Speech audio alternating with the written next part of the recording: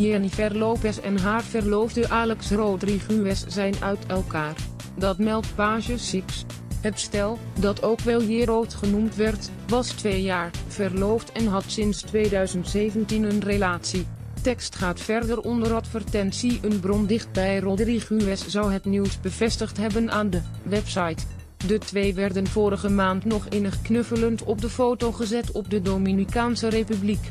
Daar is de 51-jarige Lopez bezig met opnames voor de film Shotgun Wedding. Deze week werd bekend dat de bruiloft van het stel, die twee keer werd uitgesteld vanwege corona, weer op de agenda staat. Nu is Rodriguez echter terug in Miami, waar de honkballer zich voorbereidt op een nieuw honkbalseizoen. Lopez is nog steeds op de Dominicaanse Republiek. Eerder vertelde de zangeres en actrice al dat het stel tijdens de lockdown in therapie ging. Buzzelets blokkades.